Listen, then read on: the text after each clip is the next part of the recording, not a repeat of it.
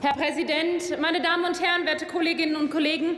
Gerechtigkeit, darum haben wir immer gesagt, geht es uns in der Sozialdemokratie. Und darum wollen wir in dieser Wahlperiode die Arbeitnehmerinnen und Arbeitnehmer mit mittleren und kleinen Einkommen bei Steuern und Abgaben besser stellen und die Leistungen insbesondere für Familie und Alleinerziehende verbessern.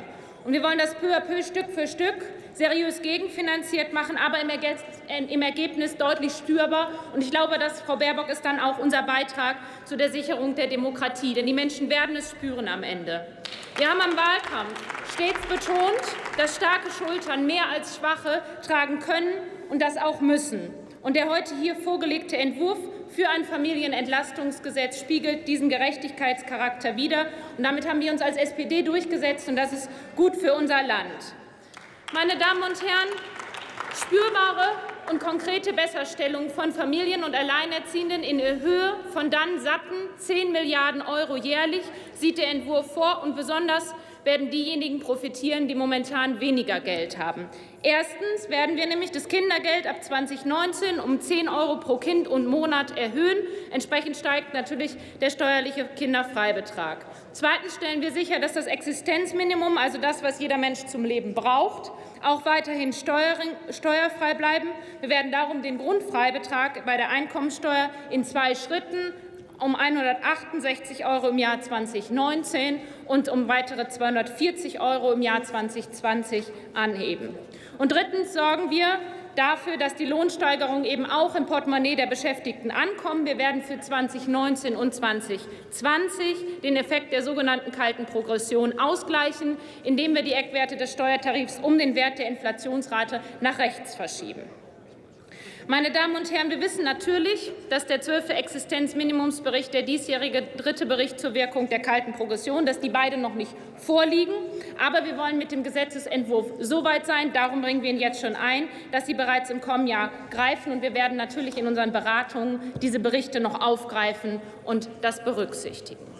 Meine Damen und Herren, als SPD haben wir in den Koalitionsverhandlungen das wichtige Ziel erstritten, dass denjenigen, die wirklich mehr benötigen, mehr Geld bleibt, und zwar dann netto. Und das machen wir uns jetzt zum Ziel unserer Politik. Und darum ist das Familienentlastungsgesetz eben nur ein Teil in einem ganzen Paket von Maßnahmen, die wir entweder bereits beschlossen haben oder die dann zukünftig noch kommen werden.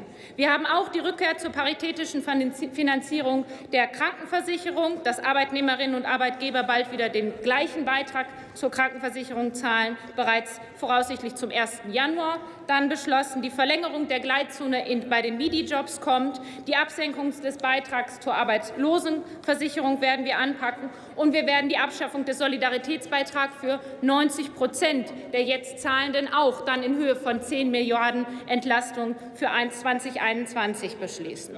Und wir planen, und wir planen den Einstieg in die gebührenfreie Kita mit 5,5 Milliarden Bundesförderung werden wir mit dem Gute-Kita-Gesetz, mit dem Kinderzuschlag und mit dem Bildungs- und Teilhabepaket weitere Verbesserungen für die Familien haben. Und wenn man das zusammennimmt, meine Damen und Herren, dann ist jede der genannten Maßnahmen im Einzelnen ein Baustein dafür, dass wir Familien, Alleinerziehende, aber eben auch Singles mehr vom hart verdienten Lohn und Gehalt bleiben. Und die Verbesserung werden wir dann konkret spürbar bei den Menschen auch haben. Und das wird dann, Frau Baerbock, unser Beitrag zur Sicherung der Demokratie sein. Das war uns als SPD wichtig.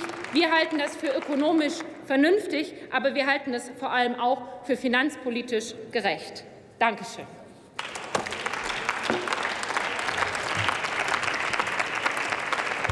Jetzt erteile ich das Wort der Abg. Dr. Frauke Petri.